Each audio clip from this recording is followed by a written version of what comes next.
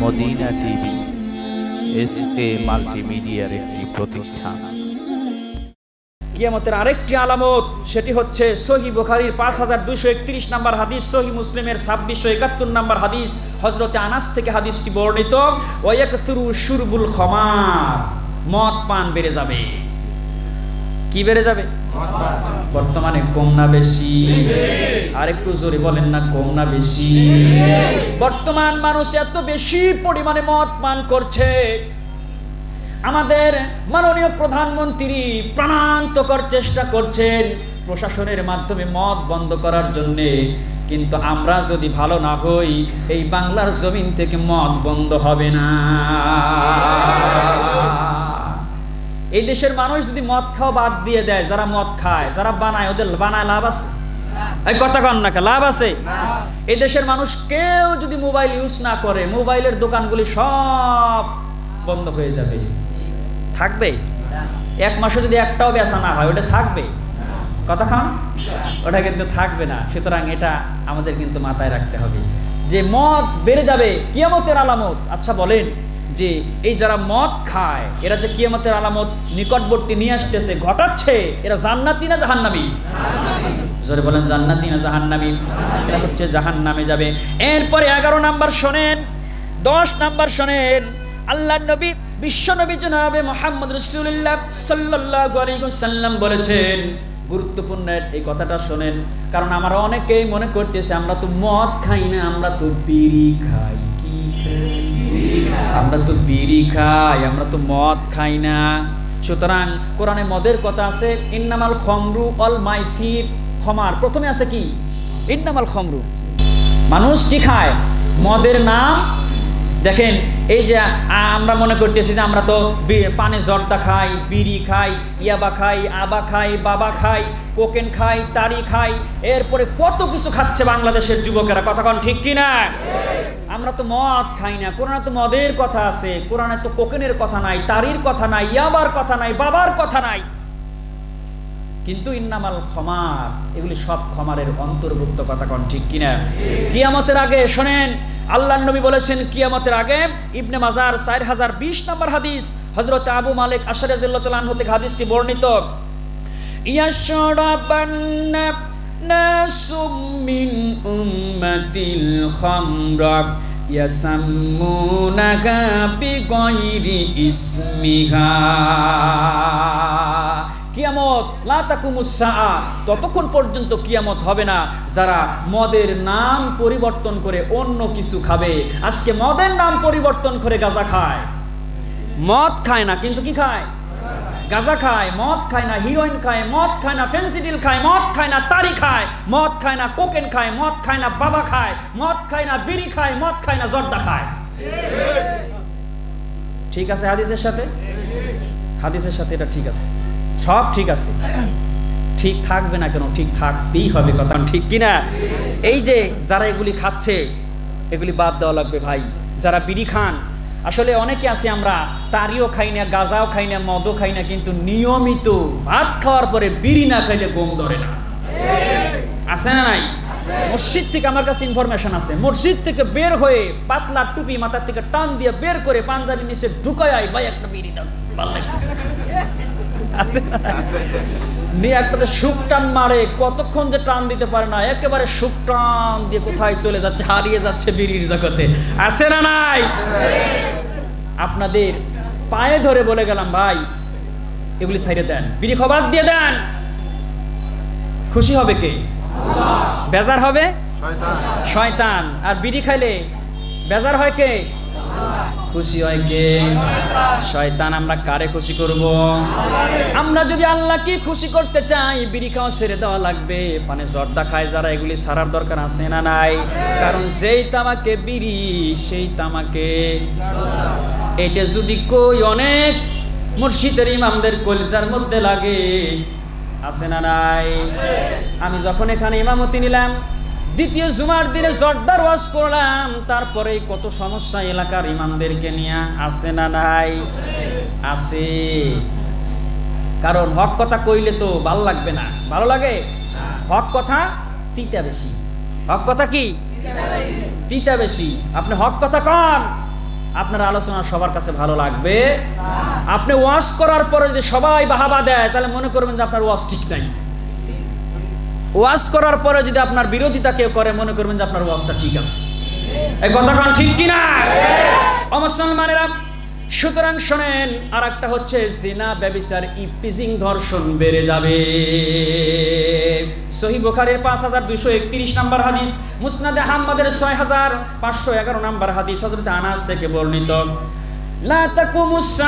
ততক্ষণ পর্যন্ত কিয়ামত হবে না।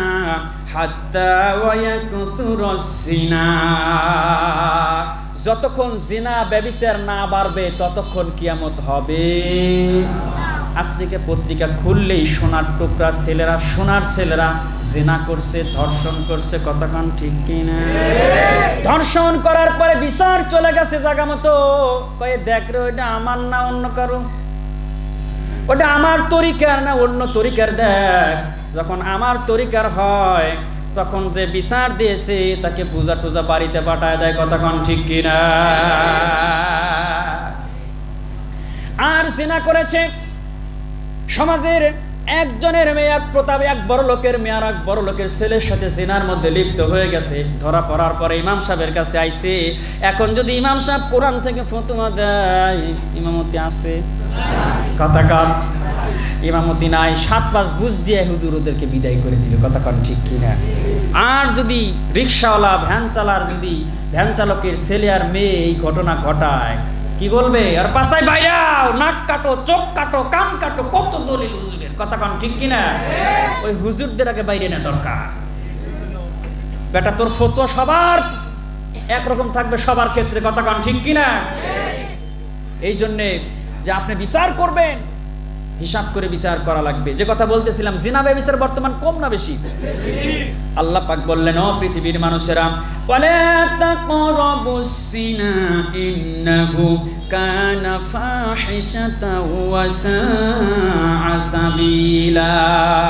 আল্লাহর ঘোষণা হলো, ও পৃথিবীর মানুষেরা, তোমরা তো জিনা ব্যভিচার করো না, জিনার ধারের কাছে তোমরা যেতে পারবা না।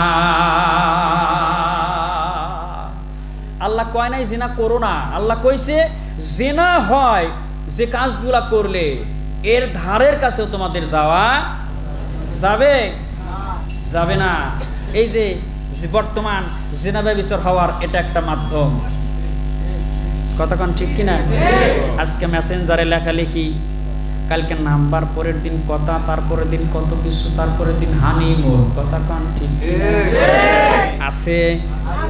আছে, হচ্ছে বেশি। আগের চেয়ে কম না বেশি? আগের থেকে অনেক বেশি হচ্ছে।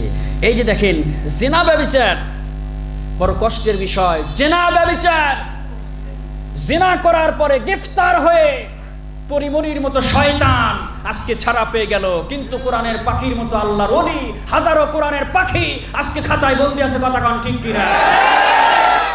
আজকে যেই সমস্ত মানুষগুলো এই পরিমণির পক্ষে কাজ করে তাকে ছাড়ার ব্যবস্থা করেছে, আল্লাহর কসম, কিয়ামতের মাঠে পরিমণির সাথে ওরা জাহান নামে যাবে। কই, তুমি তো একদিনও আল্লাহর অলিদের পক্ষে তুমি তো কথা বললা না। যাদের মুখ থেকে কোরআন শুনলে মানুষ বিধর্মীরা মুসলমান হয়ে যায়। আর যাদের মুখের গান শুনলে, কথা শুনলে মানুষ জাহান নামে যায়, তুমি তার পক্ষে কাজ করেছ। কি জবাব দিবা তোমরা?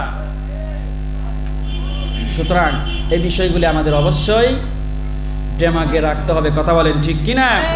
যে কথা বলতেছিলাম, যে আসলে এগুলি বড় দুঃখের বিষয়। এরপর আর হচ্ছে, নারীরা অর্ধেক পোশাক পরে অর্ধ উলঙ্গ হয়ে রাস্তায় চলবে। এই মা বোন যারা এসেছেন, এবার আপনাদেরকে, আপনাদের সম্পর্কে কিছু কথা বলি।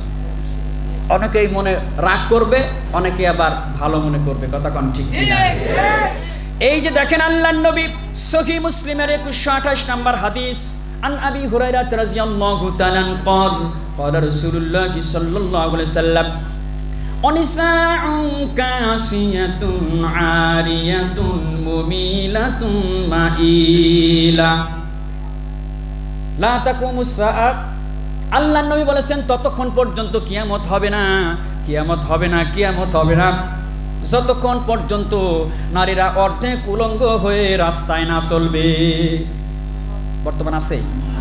জোরে বলেন, আছে। আছে। নারীদের দিকে তাকালে পারে। এই যে কিছু আগে একটা পয়েন্ট বললাম যে ধর্ষণ, আসলে ধর্ষণ হয় এক হাতে তালি বাজে না, কথা কন ঠিক কিনা? আজকে যদি নারীরা সম্পূর্ণ কোরআনের আইন মেনে পর্দা করে চলতো, এই দেশে ধর্ষণ কমে যেত, কথা কন ঠিক কিনা? সেনা কমে যেত ইপটিসিং কমে যেত, কথা কন ঠিক কিনা? খালি যুবকদের দোষ দিয়ে লাভ নাই, যুবতীর দোষ আছে না নাই? অবশ্যই রয়েছে। কারণ মা বোনেরা পর্দা কর মাত্র কয়েকটা আমুল করলে ওরা জান্নাতি। আলহামদুলিল্লাহ কন? কয়েকটা আমুল করলেই তো ওরা জান্নাতি। ও মুসলমানেরা আপনার মেয়ে আপনার স্ত্রী আপনার বোন এরপরে আপনার মা আপনার পরিবারের মানুষ যদি এর অর্ধেক উলঙ্গ হয়ে রাস্তায় চলে কিয়ামতের ময়দানে আপনার স্ত্রীর কপালে আপনার মেয়ের কপালে আপনার বোনের কপালে আপনার মায়ের কপালে দাইয়ুস লেখা থাকবে না। কিয়ামতের ময়দানে আপনার কপালে দাইয়ুস লেখা থাকবে। তিন শ্রেণির মানুষ জান্নাতে যাবে না। সালাসাতুন কদ হাররামাল্লাহু আলাইহিম জান্নাহ। কয় শ্রেণি? নাম্বার ওয়ান মুদমিনাল খামারু, নিয়মিত যারা মদ পান করে, যে আগেরটা বললাম। এরপরে দাইয়ুস যারা দাইয়ুস দাইয়ুস কিন্তু মহিলারা না। দাইয়ুস কে? মনে থাকবে? এতদিন মনে করছি দায়ুস মনে হয় মেয়েরা হ্যাঁ দায়ুস আমরা সুতরাং মা বোন যারা এসেছেন এই সমস্ত কাজ করা যাবে না আল্লাহর ঘোষণা হচ্ছে وقرن في بيوتكن ولا تبرجن تبرج الجاهلية الأولى وأقمنا الصلاة وآتينا الزكاة وأطعنا الله ورسوله আল্লাহ পাক পৃথিবীর সমস্ত নারীদেরকে উদ্দেশ্য করে বলেছেন ও পৃথিবীর নারীরা জাহিলি যুগের মেয়েদের মতো রূপ সৌন্দর্য প্রদর্শন করে তোমরা ঘরের বাইরে যেতে পারবা না। আর তোমরা কি করো? তোমরা সলাৎ কায়েম করো, আকিমনা সলাত ওয়াতিনা যাকাতা। আর তোমাদের যে অর্থ সম্পদ রয়েছে, স্বর্ণ রয়েছে, তোমাদের যে রূপ অলংকারগুলি রয়েছে, এই সমস্ত কিছুর জাকাত তোমরা পৃথিবীর জমিনে দাও। আর কি করো? আল্লাহর আনুগত্য করো। আর কি করো? রাসূলের আনুগত্য করো। আলহামদুলিল্লাহ মাত্র কয়েকটা কাজ করলেই ওরা জান্নাতি। সুতরাং মা বোন যারা এসেছে, মা বোনদেরকে বলতে চাই যে আপনাদের এগুলি দরকার আছে না নাই? আর একটু জোরে বলেন, আছে না নাই? এগুলি দরকার রয়েছে। কিন্তু পর্দা কি করবে? অর্ধেক উলঙ্গ হয়ে তারা রাস্তায় চলছে। এরপরে কত মা- আছে, বোন আছে, এরা বয়স হয়ে গেছে এরপরে মোবাইলের রিংটন শুনলে মাথায় নষ্ট। গান ছাড়া কিচ্ছু বোঝে না। কথা কান ঠিক কিনা? কারণ বুঝবে কি, সারাদিন তো দেখে খালি হিন্দি সিরিয়াল। কি দেখে? খালি হিন্দি সিরিয়াল। জলসা জি বাংলা না দিলে ওদের ভালো লাগে না, কথা কান ঠিক কিনা? অনেক মা বোন আসে, ওদের স্বামী, সংসার, ধর্ম, কর্ম, নামাজ, রোজা, আল্লাহ, পরকাল, কিচ্ছু দরকার নাই। জলসা জি বাংলা দিলে ওরা বিরাট খুশি, কথা কান ঠিক কিনা? ধর্ম, কর্ম সারতে পারে ওরা। নামাজ রোজা সারতে পারে ওরা, স্বামী সংসার সারতে পারে ওরা। সারবে না হিন্দি সিরিয়াল, সারবে না পাখি সিরিয়াল। ইসার জলসা ঘরে ঘরে লাগাইছে গোলমা ঠিক কিনা বলেন? মা বোনটা ঠিক ভালো মতো কইতেছে।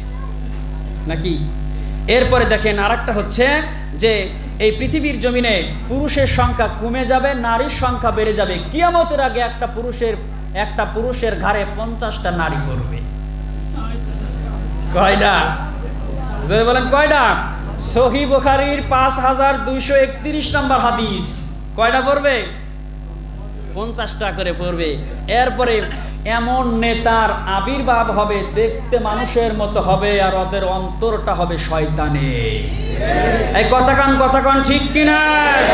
সহি মুসলিমের চার হাজার ছয়শো উনআশি নাম্বার হাদিস, লেখে নিয়ে যান। আল্লাহ রসুল বলেছেন ততক্ষণ পর্যন্ত কিয়ামত হবে না। ওই জামানায় নেতাদের চেহারা থাকবে, দেখতে মনে হবে যে আল্লাহর অলি কিন্তু ভিতরটা শয়তান। কথা কন ঠিক কিনা? এই টাকলা মুরাদ যখন মাথায় টুপি দিত আর পরনে পাঞ্জাবি দিত, মনে হতো এই মুহূর্তে অসগবি আলাহ সাল্লাম নাজিল হয়েছে কন ঠিক কিনা? কিন্তু ভিতরে কি আছে? মিস্টার ইবলিস ভিতরে বসে ওকে কন্ট্রোল করতেছে ইসলামের বিরুদ্ধে কথা কন। কতক্ষণ ঠিক কিনা?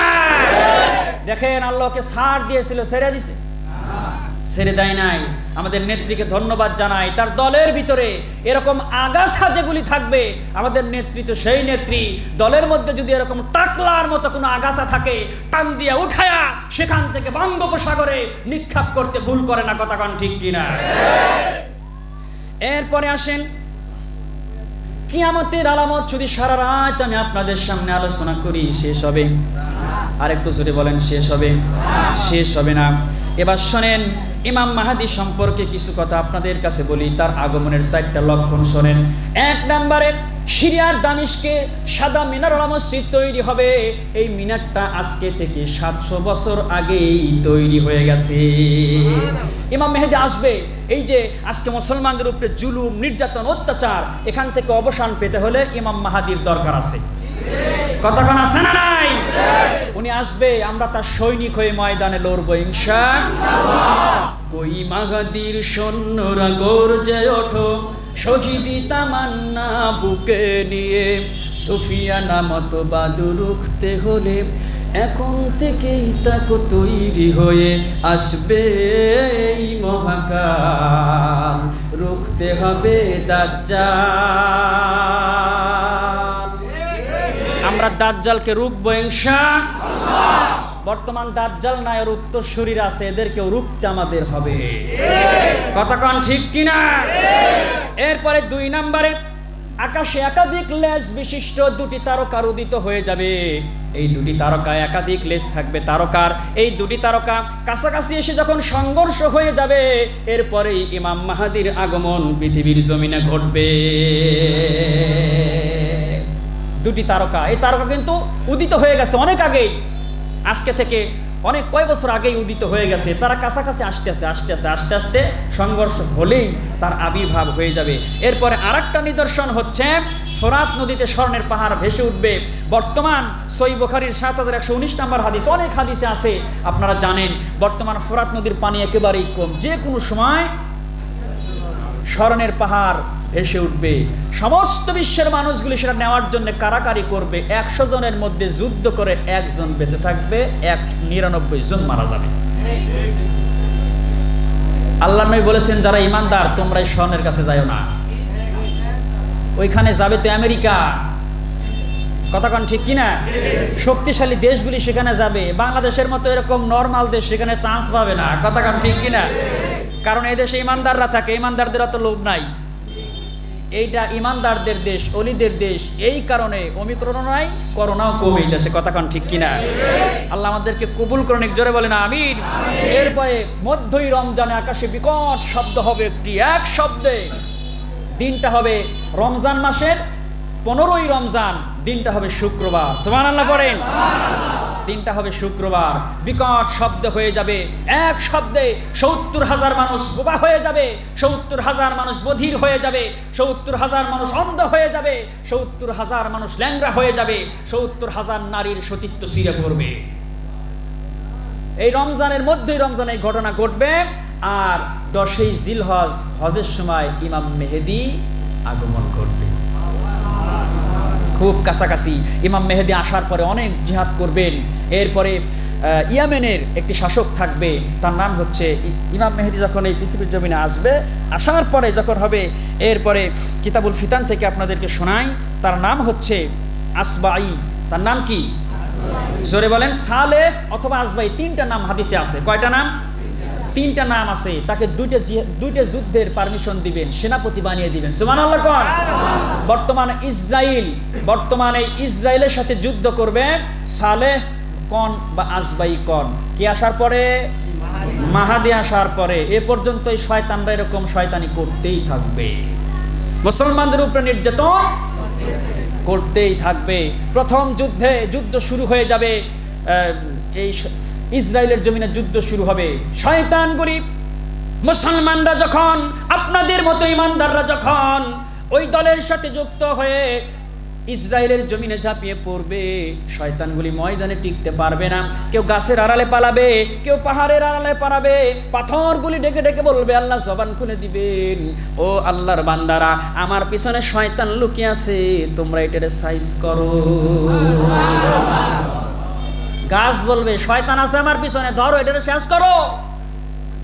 এরপরে ভারতের জমিনে গাজওয়াতুল হিন্দ যেটাকে বলা হয়, কিতাবুল ফিতানে অনেকগুলি হাদিস রয়েছে। সময় সংকীর্ণ, শুধু মূল কথাগুলি আপনাদের কাছে বলে যাই। সেখানে জিহাদ শুরু হয়ে যাবে।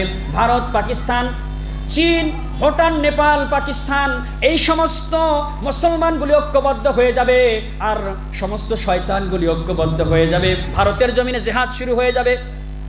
এই জেহাদে মুসলমানদেরকে আমার আল্লাহ রব্বুল আলামিন বিজয় দান করে দিবে। গাজাতুল হিন্দ, বিজয় হবে মুসলমানদের। কারণ মুসলমান তো সেই জাতি যেই মুসলমান তাকবীর ধ্বনি দিয়েই তাদের ময়দানে বিজয় আসে, কথা বলেন ঠিক কিনা? আমরা ইমাম মেহেদির সৈনিক হয়ে ভারতের জমিনে গাজাতুল হিন্দ এই জিহাদে শরিক হয়ে আমরা নিজের জীবনকে বাজি রেখে আমরা কালেমার পতাকা আকাশে উড়াইতে চাই, কারা কারা হাত দেখতে চাই? লিল্লাহে তাকবীর। লিল্লাহে তাকবীর। কোরআন আছে যেখানে। তাফসীর মাহফিল যেখানে।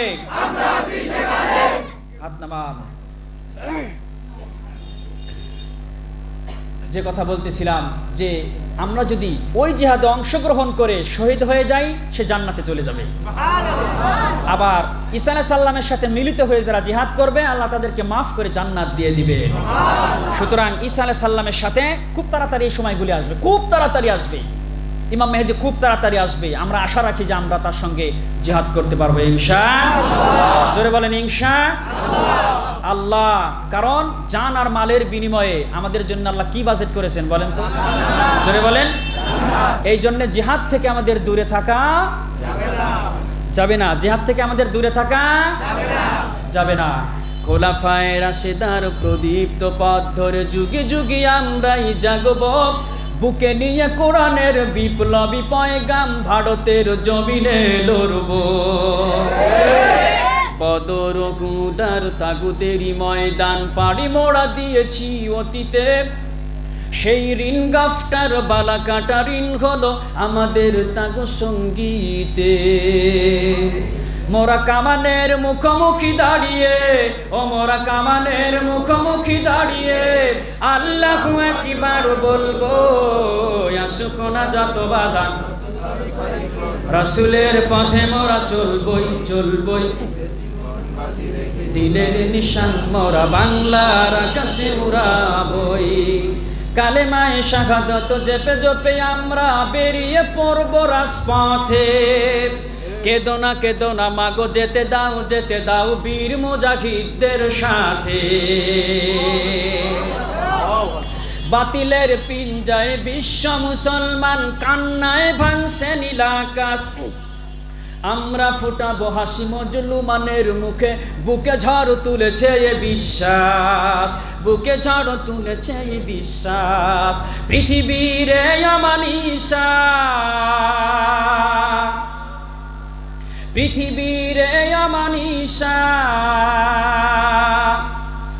কাশ্মীরের আমানিসা ফিলিস্তিনি রে অমানিসা রে অমানিসা সত্যের আলো দিয়ে ঠেকাবো আসুক না যত বাধা।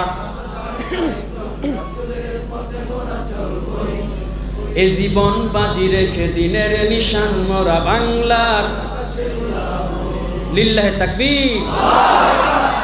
এরপরে এদের হাতে পায়ে ভারতের সমস্ত শয়তানদের হাতে পায়ে বেরি লাগিয়ে সিরিয়ার দিকে টানতে টানতে নিয়ে যাবে। যাওয়ার পরে সিরিয়ায় ঢুকার সঙ্গে সঙ্গে ঈসার সাথে দেখা হয়ে যাবে। কারণ আলাইহিস সালাম অবতরণ করবেন দাজ্জালকে হত্যা করার জন্য।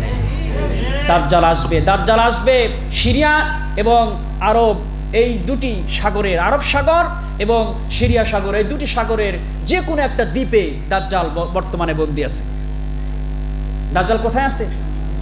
বিশ্বনবীর সময় ইবনে সাইয়াদ ইবনে সাইয়াদ সম্পর্কে অনেক হাদিস রয়েছে। ইবনে সাইয়াদ, ইনি হচ্ছে দাজ্জাল, প্রকৃত দাজ্জাল। সই বোখারির হাদিসে আছে, আমি ওদিকে গেলাম না, সময় খুব কম। তাহলে এই যে দাজ্জাল বর্তমানে বন্দি আছে, তার দুটি হাত এবং সমস্ত শরীর শিকল দিয়ে বাঁধা আছে। তামিমার দাঁড়ি একটি হাদিস, বিশাল বড় একটি হাদিস রয়েছে।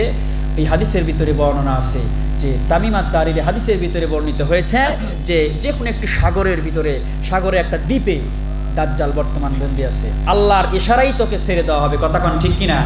কারা মমিন আর কারা ইমানদার, কারা জালেম, কারা কাফের, এটা আল্লাহ পাক বাছাই করার জন্য দাজ্জালকে দিবেন পৃথিবীতে।